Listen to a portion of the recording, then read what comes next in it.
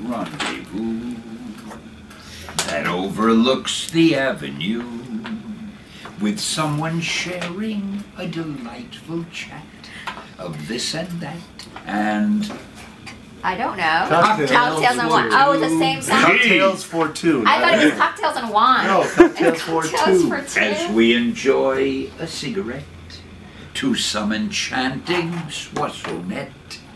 Two hands are sure to slyly meet beneath the serviette, and Cocktails for two. There you go. my head may go reeling, but my heart will be obedient. With intoxicating kisses for the principal ingredient. Most any afternoon at five. We'll be so glad we're both alive.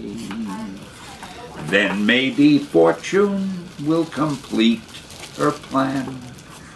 That all began uh, with Cocktails for two.